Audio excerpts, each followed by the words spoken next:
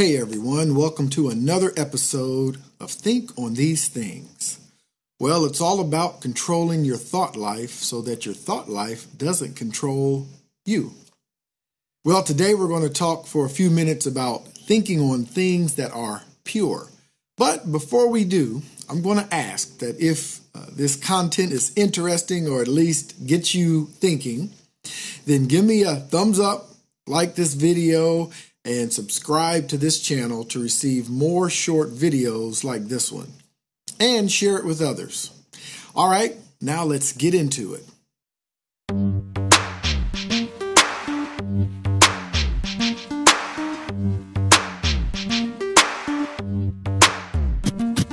Young, one time, here we go, here the facts. It happens when you least expect it.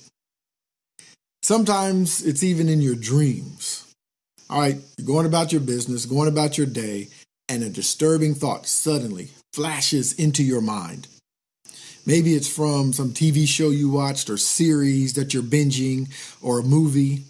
It can come from a book you read or a conversation that you've had.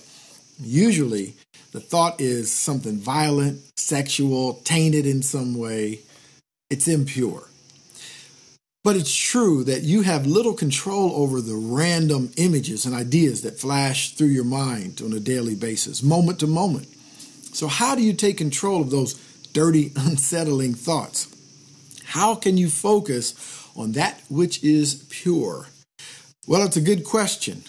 I mean, so much of your life, and especially your entertainment, the entertainment part of your life, is visual content. I mean, from the news to comedy, audio books, videos, it seems like there is an unlimited, endless supply of information that floods your mind every moment of every day. So, how is it even possible to think or meditate, as I like to say, on those things that are pure? So, this word pure, it's defined as something that's unmixed with any other matter, free from dust, dirt, or taint. In other words, it means that there's nothing added to it.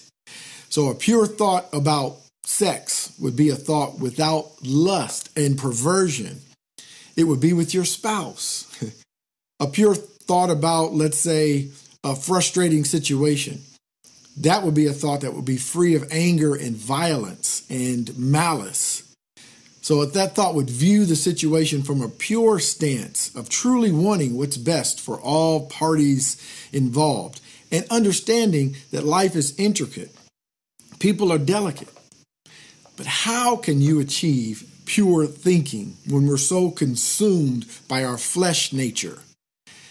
You know, pure, this word pure, it comes from our Greek word hagnos, which means innocent or without defect.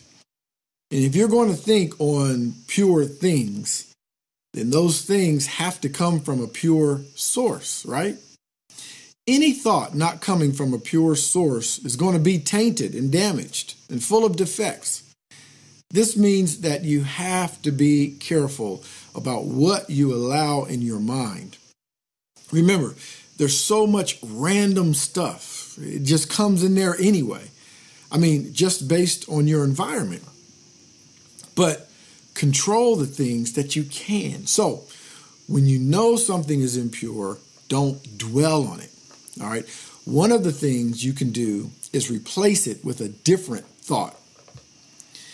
Well, how do you do that? And how do you know what's an impure thought?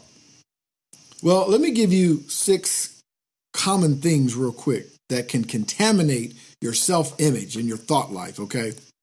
First of all, envy.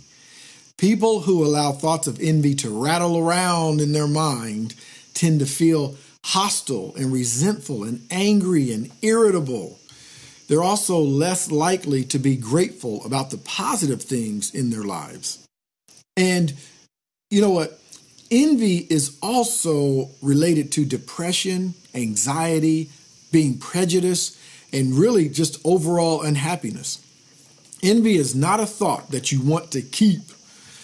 What about anger? Well, I don't have to tell you that anger is an unhealthy thought. You know that, right? Especially when you allow it to control you. Because if you dwell on it, sooner or later, it will guide your actions. You know that. It's happened. And that may be regrettable because anger is in control of you and not you in control of your anger. Okay? How about strife? That's an interesting word. Strife is like a bitter disagreement over fundamental issues. So basically, it boils down to arguing over something that isn't worth arguing about. Okay, you ever been in an argument like that? You find yourself in a situation like that. Once it's over, don't let it stay with you. Let it go. You know, that spirit of Elsa, I know. Strife is not worth it. And then there's plain old worry. You know what? There was a Harvard study that showed that constant worry can lead to what's called uh, generalized anxiety disorder or GAD. I know there's a name for everything. I, I, get it. Trust me. It's, you know, but worry really can not only lead to an anxiety disorder, but it can lead to actual physical problems in your body as well. You know, some of the itises people get. You know, arthritis, bronchi- bron- bronchitis, say that three times fast. You know, all of that can come from constant worry. Think about it. The suffix itis literally means inflamed, and that's all it means. Your worry can cause inflammation in your body. There's something to the saying, you're going to worry yourself to death. and then negative words and negative thoughts, those, those other two things right? Just negative thoughts, period. Negative words. None of those things are healthy for you. And again, it's not that you can absolve yourself from ever experiencing any of those things, right? I mean, we're living life, okay? But it's up to you what you do with them. Because in this case, it's not the thought that counts, it's the action it produces.